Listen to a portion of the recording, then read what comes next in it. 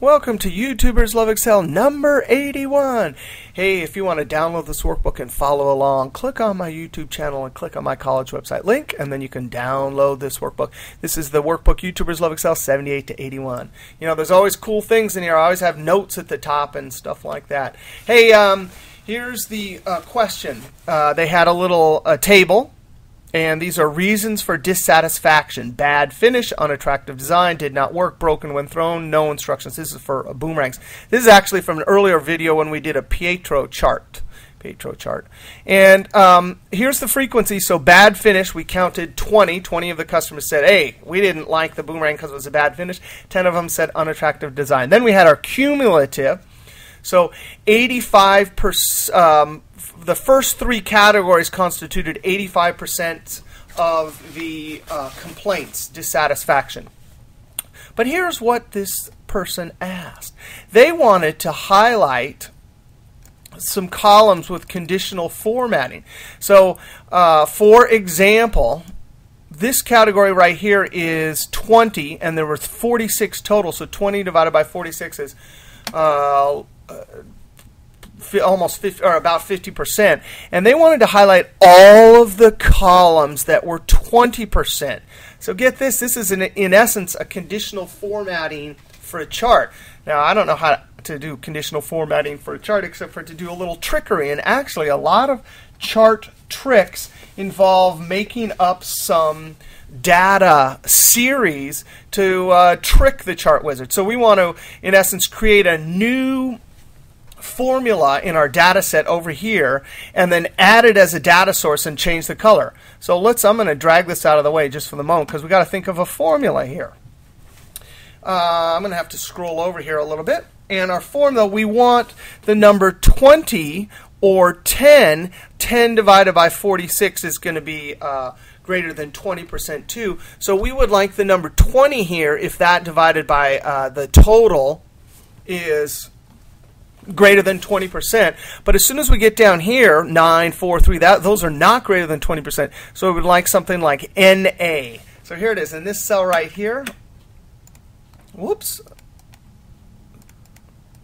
Equals if this right here divided by SUM, open parentheses, all of them. I could have just clicked down below, but I did it this way because I had a total right there, that 46.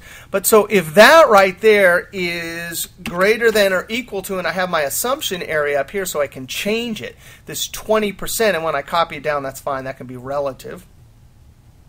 Notice I had to lock that because as I copied down, I always wanted adding up all of them.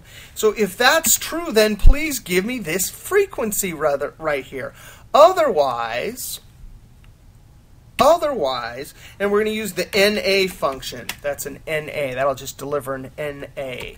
And then close parentheses. 20. So that formula is what we want all the way down. 20.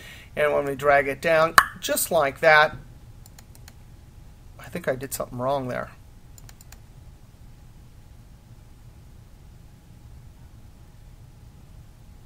Ah, I, yes, I did something totally wrong there. Lucky uh, uh, paying attention. I'm going to click in the cell and hit F2. Duh. I forgot to lock this because that's the assumption right there. So that D13, I'm going to hit F4, F4, and lock it going down across the rows. That dollar sign's in front of the 13. All right, I got my fingers crossed. Control Enter, and then double click and send it down. Sure enough, that worked. Now we have to add this data series. By the way, I built a text formula here too. Um, a concatenating formula labels. Uh, it's one of those very underutilized things in Excel, but you can make labels just like you can make uh, calculating math formulas.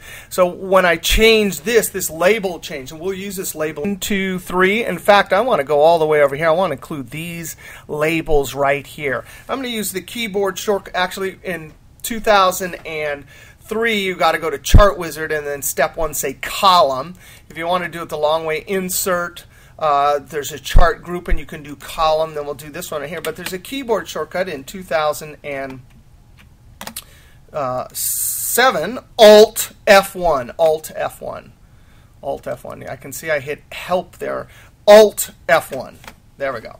Now, um, what we need to do is change this to the secondary axis. So I'm going to click on this one because that's the cumulative. Remember, that's a, a percent there. So I'm going to click on this right there and right click. Now, if you can't um, right click, like get your cursor over it, you know there's a right click key. If you look on the right side of your keyboard in between uh, Alt and Control, there's a window key, but there's a right click key, a right click key. And we want to say change series chart type.